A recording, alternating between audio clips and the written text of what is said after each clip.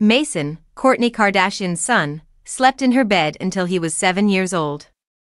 To me, natural and instinctive Kourtney Kardashian disclosed that she shares a bed with her kids because she finds it to be natural and instinctual. Everyone is unique, including children, in my opinion. Mason Disick, the star of Kardashians, said, My oldest son, Mason Disick, slept with me till he was seven, on Monday's episode of the Skinny Confidential podcast. I mean, part of it was also like, I would put him to bed in his room at a certain time, and then he would come to my room, she went on. At seven o'clock, he abruptly stopped and declared, I sleep in my own room, I'm done with you.